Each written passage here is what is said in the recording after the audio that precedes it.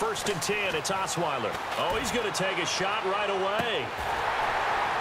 But when this ball's tipped and intercepted, a great read, and it's picked off. Oh, that's a nice job defense.